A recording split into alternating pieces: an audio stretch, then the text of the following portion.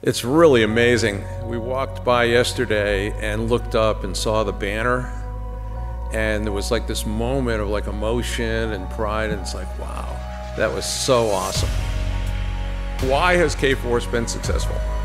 It's you guys. You guys are really the reason we're here, and it's our culture and it's the people. We are just on the edge of the golden era for Kforce. We're just getting started.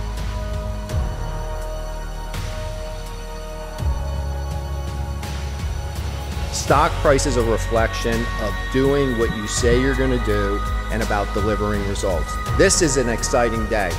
This is another milestone event in our long storied history of who we are, what we're about, but even more so where we're headed.